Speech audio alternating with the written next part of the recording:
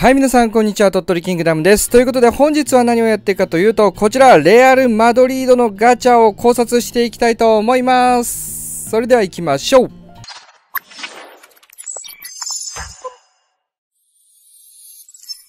はい、ということで、こちら、レアル・マドリードのガチャ来ております。まあ、年末のガチャということで、結構ビッグな内容になってるんじゃないかなという感じですが、さあ、見ていきましょう。はい。で、その前に、ちょっとこれを見ていく前に、みんなで考えていきたいことということをちょっとお話ししていきます。はい。えー、ということでですね、ちょっと見ていただきたいのは、こちらカレンダーですね。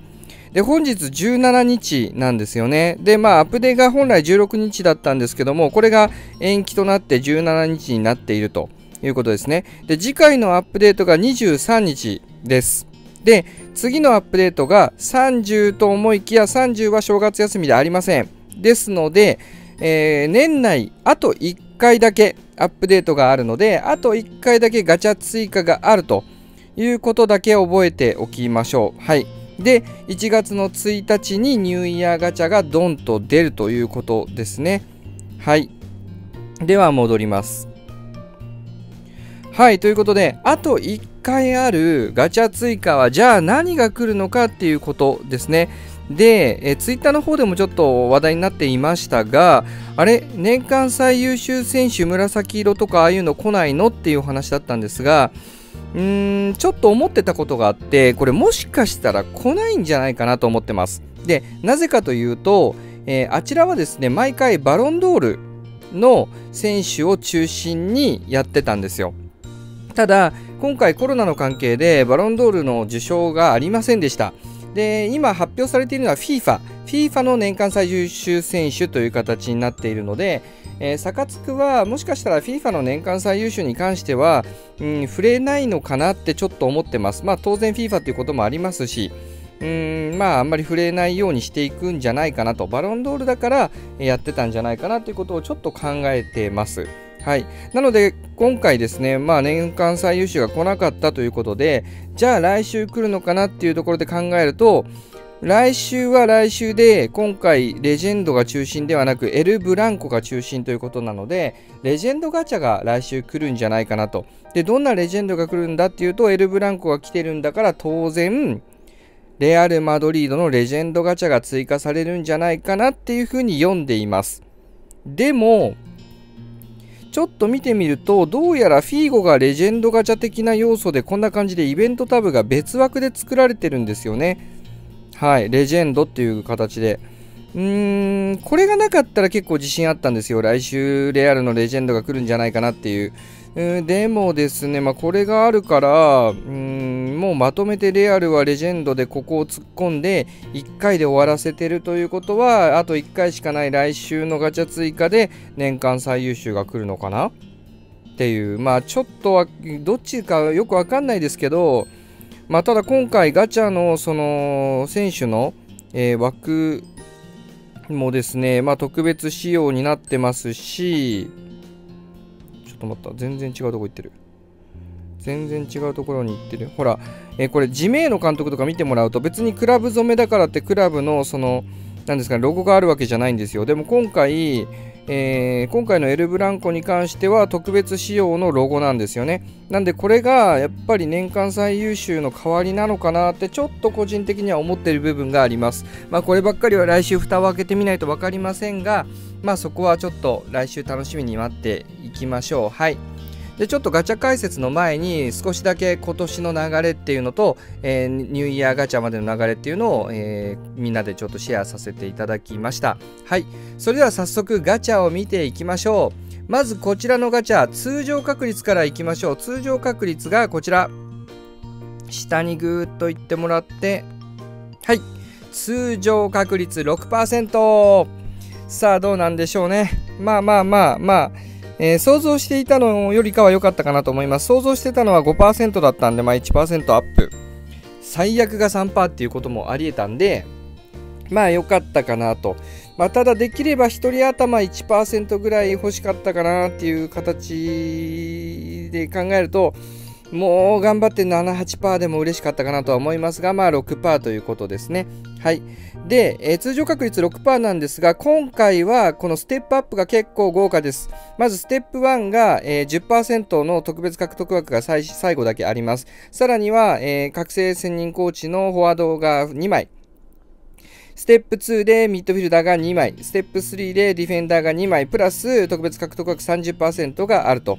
えー、さらにステップ4がフォワード、ミッドフィルダー、ディフェンダーが1枚ずつ、そしてステップ5が、えー、星5確定チケット、プラス50%の確定枠ですね。はい、特別獲得枠が50%。ステップ6がフォワード2枚、そしてステップ7がミッドフィルダー2枚、プラス特別獲得枠60%。ステップ8ディフェンダー、ステップ9がそれぞれ各1枚ずつに70%。まあ、ここら辺取るか取らないかで結構大きな、違いになってきますよね。そしてなんといってもステップ10で、この限界突破、無制限のアイテムが1つ、プラス1人確定。これ結構今回の、まあ、えー、ガチャは確率はアップも多いですし、えー、無制限も1枚ついてますし、あとは何といってもボーナスがですね、これ、通算ボーナスが、えー、100人で1枚、300人で1枚ついてますし、まあなんとか300連で型がつきそうなガチャかなとは思ってはいます。はい。ですね。はい、という感じで、えー、っと、まあ、このガチャどうしようかなとは思ってますが、まあ、とりあえず中見ていきましょうか。はい。では、まずベンゼマからいきましょう。はい、カリム・ベンゼラ・フランス、ベンゼマ・フランス、マドリード FC ということで、えー、ポストプレイヤー系と来ましたね。はい。こちら、オフェンスキーマン、粉砕の支配者、チーム戦術がサイドアタックの時、キーマンに設定することで、センターフォワード、それから両ウィングの配置した得意戦術がサイドアタックの選手のドリブルとシュートがチューアップということなので、まあ、このガチャで言うと、アザールとフィーゴがドリブル、シュートがチューアップする。さらにはドリブルスキルの発動率が大アップするということで、まあ、かなり強い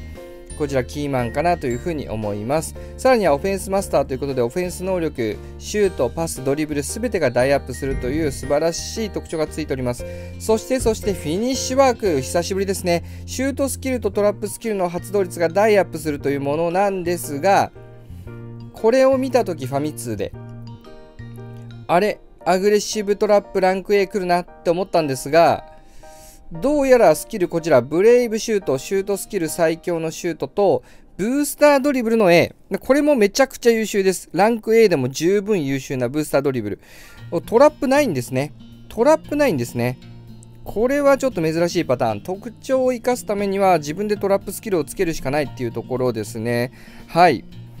まあ、ということはですよ。これはおそらくですけども、アグレッシブトラップ来ると思います、来週。来週か年始のガチャでアグレッシブトラップが出てくるんじゃないかなと。で、ベンゼマ持ってるでしょと、アグレッシブトラップ欲しいでしょと、回したいでしょと、まあそういう流れなんじゃないかなというふうに思っております。はい。で、ステータスもめちゃくちゃ優秀ですね。シュートも高いですし、ドリブルもパスもあって、スピードもパワーもめちゃくちゃバランスがいいんですよね。で、これだけバランスがいいと器用貧乏になりがちなんですけども、まあ、基礎ステータスが高いんですよね。基礎ステータスがめちゃくちゃ高いので、まあ、全体的にもかなり活躍してくれるんじゃないかなというふうに思います。はい。まあ、なんといってもポストプレイヤー系統なんであの強いポストプレイヤーっていうところで考えても、まあ、最強のポストプレイヤーなんじゃないかなというふうに思いますね。はい。まあ、だからこそトラップなんだろうなというのも考えておりますね。まあ、この辺はまた、えー、ベンゼマの作り方みたいな動画のところでも解説していきたいなというふうに思います。はい。では続いてアザール。エデン・アザール、ベルギー、マドリード FC ですね。こちらフリーウィーリングってことでフィニッシャーが来ておりますね。ゴールハンター強いですね。シュート、ドリブル、ダイアップ、そして勝負師、パス、ドリブル、ダイアップ、ドリブルに自分でバフ二重でダイをかけております。はい、そしてバーストシュート、まあ、ここちょっと残念かなと思いますが、まあ、ここ最近バーストシュートちょっと本当に少ないと思うので、まあ、たまにはいてもいいのかなっていうところ。えー、で、ブレイクドリブルですね。ここもちょっと残念。まあ、強いですよ。うん、強いですけど、まあ、あの、バフが少ないんですよね。シューっていうことで。で、ここでブレイク。まあまあまあまあまあまあ、はいはいはい。かわすドリブルっていうところで。っていう感じですね。あとはまあ2つどう乗せてくるかっていうところで使い方が変わってくるかなっていうところ。で、能力が非常にまあ優秀ですね。シュート、シュート、スピード、パワー、ドリブル、ドリブル、ドリブル、パスということで、まあ、めちゃくちゃ個人的にはウィングとしては素晴らしい、えー、ステータスぶりなんじゃないかなというふうに考えております。はい。続いてフィーゴ。まあ、フィーゴ、登場早かったですね。再登場のフィーゴということで、ポルトガルのマドリド FC ですね。はい、銀河の宝石ということで、カットイン系統ですね、またもや。はい、右サイドのこちら、カゲロウと読むらしいですね。はい、カゲロウ。チーム戦術がサイドアタックの時、右、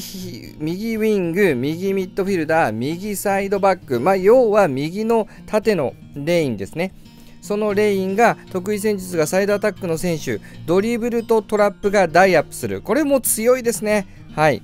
非常に強いレーン特徴がついております。そして黄金の右足、世界屈指のプレスキックの名手、数値に関わらずプレスキックが上昇するということで、うーん、まあそうですね。まあ、正直ですね、まあまあいいですよ、強いです、強いです。これは、あのーここの総合値のプレスキック見てもらったらわかると思うんですけど、プレスキック33しかないんです。33しかないんですけども、先ほどの特徴で固定値3000がドンと乗っかるので、3033という形になってきますので、プレスキックを蹴らせてもかなり一流の、えー、キックをしてくれるっていう形ですね。まあ、めちゃくちゃ強いと思いますが、まあ、できれば何かもう一つですね、うんと黄金の右足に、そうですね、ここにシュートスキル発動率が上がるものだったりとか何かしら欲しかったのかなと、まあ、特徴が要は自分に、まあ、バフをかけるというところがこのドリブルとトラップだけっていうところですね。まあまあまあ、それでも十分強いですね。十分強いです。そしてランガンということで、シュートスキル、さらにドリブルスキル、発動率、両方ともダイアップすると。まあ、これもめちゃくちゃ優秀。で、ポジション的には、ポジション的にもやっぱりここをシュートとドリブルの両方が、え、最初からダイアップしてるっていうのはめちゃくちゃ大きいと思います。はい。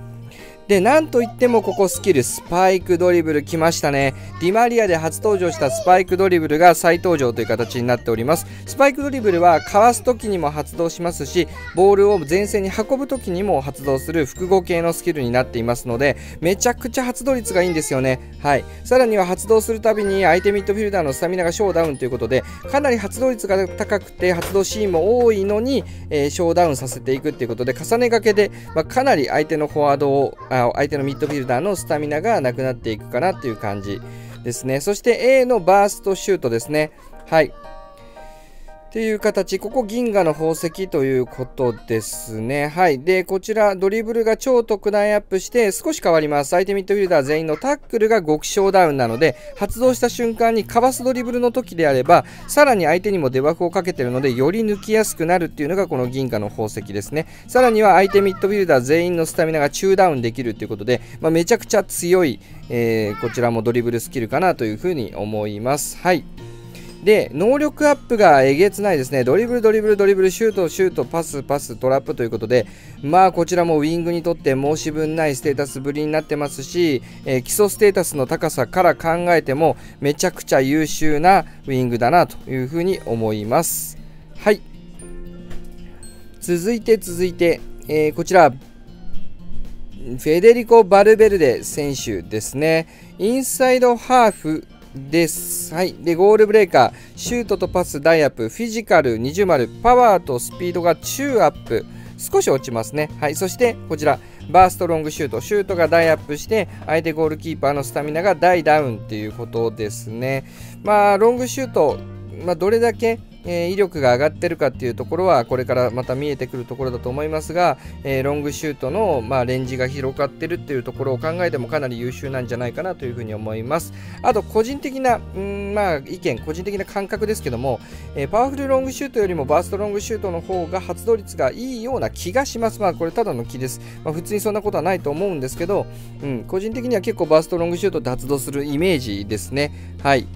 でこれもなかなかいいスキルかなというふうに思っております。そしてランク A のテクニカルパスでパハリート。こちらも、えー、シュートが超特大アップで、あ、これロングシュートじゃない。あ、ロングシュートか。あ、書き方がそうなるんだ。なるほどね。えーと、これバハリート、まあ通常で考えればこちらもロングシュートだと考えられます。そうなるとめっちゃ強いな。これこっち側のロングシュートが発動すれば超特大アップでのロングシュートなんでこれめっちゃ強いと思います。しかもスタミナ大ダウンされるんでバハリート強いな。パハリートか。パハリート強い。あこれちょっとワンチャンバルベルでパハリート考えたら強いかも。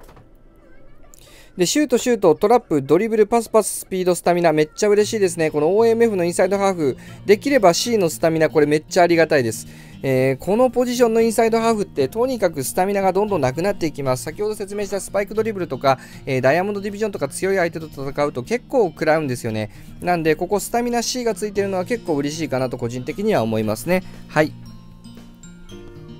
では続いてこちらはい、ダニエル・カルバハル選手ですね。こちらも何度もサカツクで登場しております。はい、右サイドバックということで、プロテクター、パスカット、タックル、ダイアップ、めっちゃ優秀ですね。はい、根性、これもめちゃくちゃありがたいですね。右サイドバックなんで、はい。そしてマークマスター、まさかのマークマスターということで、スパイダーマークが、えー、既存の S ランクスキルという形になってます。うーん、正直そろそろエッジングマークとか来るんじゃないかなと思っていましたが、うーん、スパイダーマークですね。はい。まあでも十分かなと思うぐらい強い、えー、スキルにはなっております。はい。そしてコントロールクロスということですね。系統はバランスサイドバックなんだ。あ、前回出てた時は鉄壁サイドバックだったもんな。うーん、なるほどね。バランスよくはなってるけど、多分ドリブルが微妙なのかな。そうですよね。ドリブルが554しかないサイドバックなので、この辺ちょっと作り方、使い方考えながらやらないといけないかなって、バランスサイドバックとはなってますが、正直結構ディフェンス寄りのサイドバックなのかなと、能力的には。ただ、能力的にはそうなのに、AI 的にプレイスタイル的に攻め上がられると、ちょっと厳しいところがあるのかなとは思いますが、うーんちょっとバランスがどうなのかなとちょっと使ってみなきゃなんともこの辺はわからないんですけど攻撃参加がちょっと微妙なんじゃないって個人的には思ってしまう部分があります。はい。はいそしてこちらセルヒオ・ラモス選手ですね。スペインマドリード FC はい出ました。これは最強です。めちゃくちゃ強いです。はい。まず暴れ馬はい、ファウルしやすいがというところがめちゃくちゃ難点ではあるんですけども、そうは言っても、ディフェンス能力が大アップする、すべて大アップ、タックル大アップ、マーク大アップ、パスカット大アップする、えー、究極の特徴はもうこの暴れ馬しか今のところありませんので、実際はもう S ランクなんですが、もうこのファウルしやすいがついてるので、ランク A になってるという形です。うーん、まあ、ポジション的にも結構厳しいんですが、まあ確かにラモスはファウルしやすいんで、これはしょうがないのかなというふうに思います。はい、できればこの辺はアクセサリーで改善できれば普通に、えー、強いえー、特徴に変わるのかなというふうに思います。さらにはフィジカルキングということでパワー、スピード、特大アップですね。なんで自身にバフをかけれるっていう意味で言うと、もうディフェンダーとしては最大値のバフがかかってると個人的には思いますね。はい。これ以上ないですね、バフのかけ方としては。センターバックは。で、さらに言うと、ボールジャマーですね。ついに出た、ついに出た。はい、2回目の登場かな。えー、パスカットスキル、タックルスキルの発動率が特大アップです。大アップじゃありません。特大アップです。これめちゃくちゃ強いです。守護者とインターセプター、両方最初から持ってるってことなんで、これとんでもないですよ。えー、パスカット大アップ、タックル大アップ、マーク大アップ、パワー特大アップ、スピード特大アップ、さらに守護者、それからインターセプターみたいなのが初期でついてるんで、正直めちゃくちゃ強いと思います。はい。さらに言うと、クオッシュパスカット新スキル登場しましたパスカットの新スキルですねパスカットが特大アップして相手フォワード選手全員のスタミナがショーダウンこれまためちゃくちゃ強いしかも今パスカットめちゃくちゃ発動しますね。えー、っていうことで考えるとスパイクドリブルとかスマッシュドリブル並みに発動するって考えるとショーダウンでも十分なのかなというふうに思います。はい。そしてインスパイアフィード元から持ってるロングこのロングパスもしくはクリアするときに発動するこのパスがインスパイアフィードめちゃくちゃ強いはい、そしてチコサルベ、パスカットが超特大アップして、それ以降は同じです。なので、これはかなり、えー、配る系のスキルとしても優秀に作られてるかなというふうに思います。はい。えー、で、能力アップのところを見ると、パスカット、パスカット、そしてスピードパワー、パス、タックル、ブラックル、マークということで、めっちゃくちゃ強いと思います。はい。まあとにかく優秀ですね。穴がないかなというふうに思いますので本当に必須になってくると思いますね。サイドのこの、えー、マドリード染めを作るんであれば必ずセルヒオ・ラモスは必要になってくるのかなと思います。えー、プラス同時にアクセサリーですね、えー、このフェアプレーとか、うん、コンボ効果が発動するアクセサリーをつけていくっていうことももうこれも必須になってくるのかなというふうに思います。今回新しいリーグが追加されているということなのでそこでどういうものが落ちてくるのかもしそこでですよ、え、フェアプレー的なコンボを持ったアクセサリーが落ちるのであれば、ぜひセルフィオ・ラモスにつけていけたらいいのかなというふうに思います。はい。まあ、リーグの新しいアクセサリーに関してもまた別動画で出していきたいというふうに思います。続いてこちら、エデル・ミリトンですね。はい。えー、えー、と、ブラジルの選手で奪還者ついてます。タックル、パワー、ダイアップ、優秀ですね。フィジカル、パワー、スピード、チューアップ、ちょっと落としてきたかなっていうところ。総合値もちょっと落としてきたかなっていうところ。そしてスキルもちょっと落としてきたかなっていうところですね。まあ当然、外れ枠は作っていかなきゃいけないというところなので、まあちょっと微妙なラインではありますが、まあまあまあ、そうは言ってもタックルなんで、えー、ちゃんと刈り取れるっていうことが一番重要です、センターバックなので。なので、十分、えー、活躍はしてくれるのかなというふうには思いますね。はい。っていう感じ。はい、最後。最後来ました。こちら、ティボ・クルトワ。ベルギーの選手で、えー、総合値9823最近ですねキーパーに関しては総合値がかなり、えー、ちょっと重要にもなってきてるというか比べるところで、えー、なんですかね材料になっているのでちょっとランキング見ていきましょうはいこんな感じになってます最近出たばかりのぶっ飛びオブラークですね作り込めば1万2000超えているオブラーク、まあ、フィールドプレーヤーの一番強い選手のえステータスの方に並んじゃうっていうとんでもないキーパーオブラックなんですけども、えそれが1位。で2位はオリバー・カーンで3位がイギータですね。ただイギータに関してはドリブルが新しく追加されてそのドリブルのステータスも乗っかってるんですよ。なんでキーパーのセービング力っていう意味だけで言うと、えー、ここの何ですかねランキングからちょっと落ちるのかなと個人的には思っております。でレオーネ川口と来てのティボー・クルトワっていう感じですね。なんで川口よりちょっと低いぐらい、うん、がティボー・クルトワっていう感じですね。はい。で、えー、能力アップもセービング、セービング、そしてですね、まあ、パス、パワーっていう形でついてるので、えー、まあまあ、セービングが、まあ、3つ積みじゃないっていうところ、で、ハイボール2つに飛び出しが1つだけっていうところで、どうなんでしょうね、キーパー単体で言うと、その防げるか防げないっていうかっていうところで言うと、ランキングの中ではそこまで高いわけではないのかなと個人的には思いますが、うん、まあそれでも十分なぐらい、えー、能力としては強いのかなと。ここ最近がちょっとステータスがぶっ飛んだキーパーが多かったですからね。カーンとかオブラックとか。はい。で、それを、そうなんですけど、ここですね、対空要塞がついてて、まあ、フィジカルスターもついてて、かなり優秀ですね。特徴がかなり優秀。そしてこちら、えー、ぶっ飛んだ化け物。これ、やばいです。スタミナが小回復。自分で自分をヒーリングしちゃう。そして一定時間ですよ。一定時間セービングが超特大アップ。超特大アップですから、本来だったら S ランクの、えー、セービングの5突版のスキルのが発動した時と同じぐらいのバフがさらに一定時間続くとめっちゃ強いです。しかも回復すると。しかも相手フォワード選手全員のシュートが大ダウンです。大ダウン。まあ相手についてるあれですね、あのゴールハンターとかのシュート大アップみたいなのをま無効にするぐらいの感じですよね。まあ強いですね、リサージセーブということで、まあ、なんかどんどんどんどんキーパーに関しては強いスキルが出てくるなというところですね、まあ、スコーピオンセーブっていうのがどうしても固有名詞の、えー、スキルなので、えー、2度目がないということを考えると、このリサージセーブっていうのは今後も出てくると思いますし、このリサージセーブは、え、今後も当分最強のえキーパースキルになるんじゃないかなというふに思います、えダイヤモンドのガチ勢に関して言うとこのリサージセーブはおそらく4戦術全部のキーパーに積んでくるんじゃないかなというぐらい、え強いと思います。はい。あとはですね、キーパーの交代要因というところも考えると、このリサージパスカットで自分の体力を回復できるというところで考えると、えー、少し、えー、そういった交代要因の戦術も、えー、変更が、え出てくるのかなと思ったりもしています。はい。はい、ということで以上ですね、合計8名が、え、新ガチャで追加されております。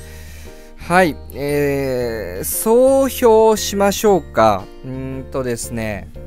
辛口コメント言わせてもらうと、もうちょっとワクワクするガチャが良かったかなって思います。はい。うーん、レアル・マドリードって誰しもが認めるやっぱり世界のトップチームで、えー、やっぱりスター軍団でっていうイメージの中で当然今のレアルっていうところで言うとこうなっちゃうのかなっていうところはあるんですけどそうなんですよねただまあまあまあまあまあなんですかね僕レアル好きなんですよ一番好きなのはユベントスで2番目がレアルなんでレアル好きなんですけどそんな僕でもなんかワクワクしない？うん、なんでしょうか、この感じ。なんでしょうか、この感じ。僕だけなのかな。はい。うーん、あとはですね、なんかもう、やべえ、この選手欲しいっていう選手が、正直そこまでいないかも。はい、強いんですけど、全体的に、ちょっと微妙なんですよね。なんか、なんだろう、手放しで両手万歳でめっちゃ強いって思える選手が、まあ、当然、ベンゼマとかフィーゴとか、まあ、ラモスも、まあ、手放しっていう意味では、ここ1個だけいらないだろうっていうのはありますけど、強いんですけどね、なんでしょうね、この感じ。うーん、強いんですけど、じゃあ絶対必須選手かって言われると、まあ、正直ね、あの、示談がめっちゃ強いんで、監督が。うん、めっちゃ強いんで、まあ、揃えていけば強いのかなっていうところは思いますけど、なんか隠してんじゃないかなっていう気しません？要は、ここに、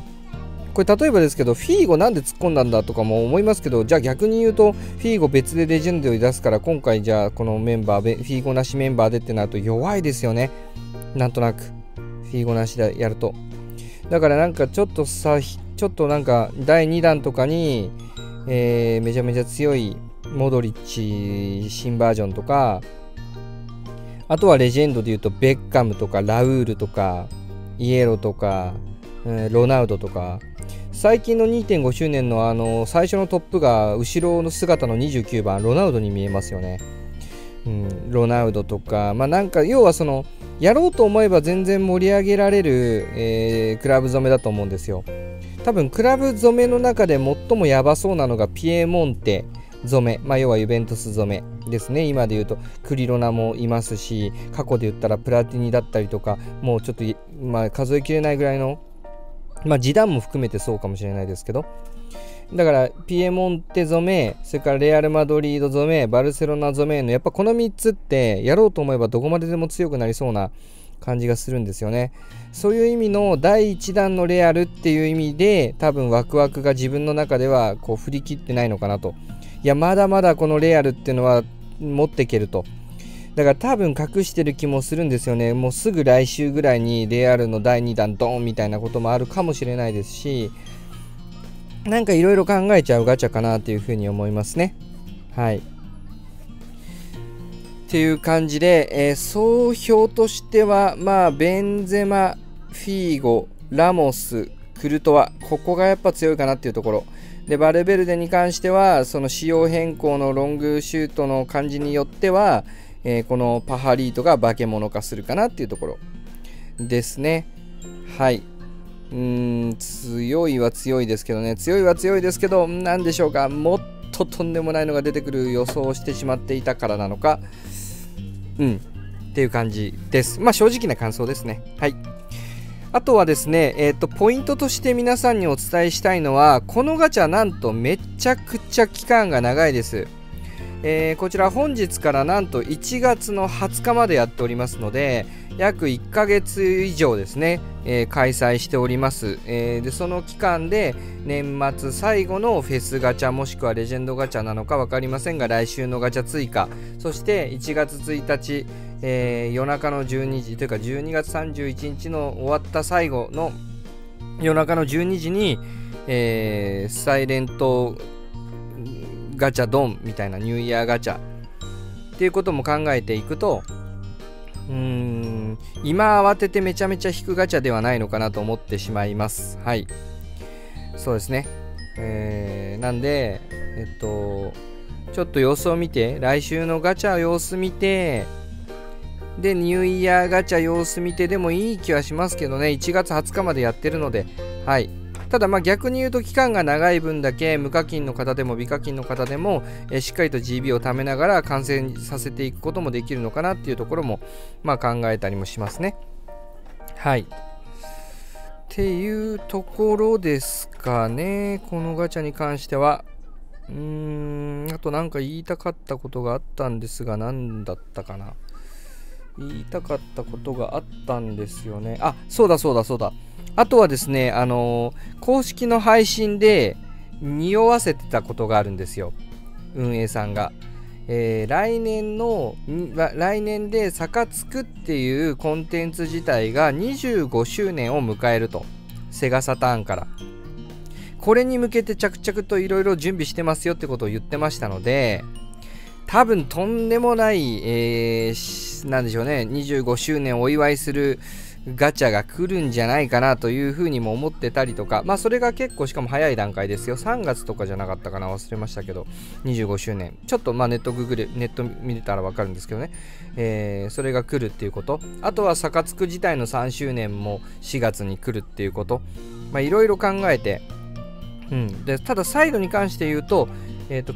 えっ、とですね、次サイド来るとしたら、流れで言うと今12月ですよね。1月2月3月4月まあ4月5月って考えると3周年がもしかしたらサイドになる可能性もだってあるわけでうん。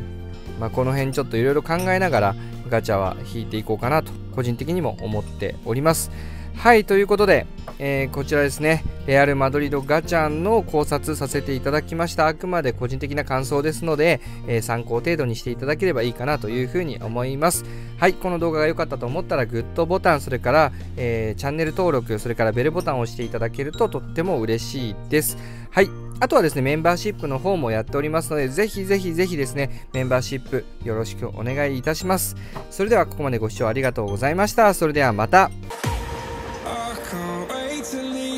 town Cause lately I've been feeling down. The cold nights just don't feel the same. Oh, back my life inside a